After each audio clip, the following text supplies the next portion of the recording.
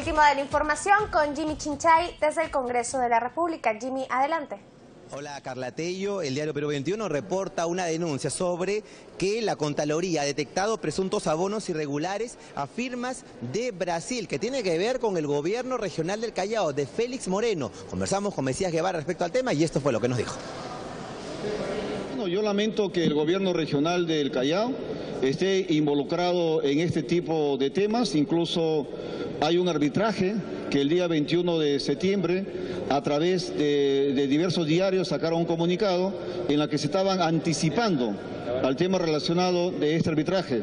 La Contraloría ha hecho unas denuncias y acá públicamente a través de ustedes le pedimos al presidente regional Moreno del Callao para que aclare esta situación. Ahí, por, por lo tanto es importante que se aclare esta situación.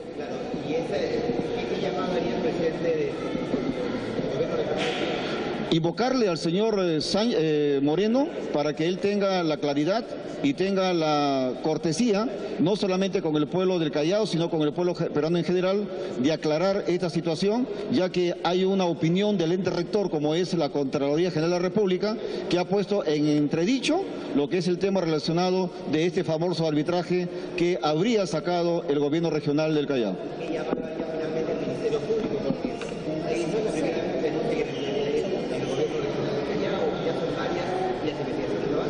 Bueno, el Ministerio Público y el, Poder Judicial, lamentablemente en el Callao, también ha estado ocurriendo lo mismo que ha sucedido en Ancas. Hay convenios que han firmado, parece que hay mucha colaboración entre ellos y por lo tanto hay que invocar también que ellos actúen de acuerdo a la autonomía que tiene tanto el Ministerio Público como el Poder Judicial.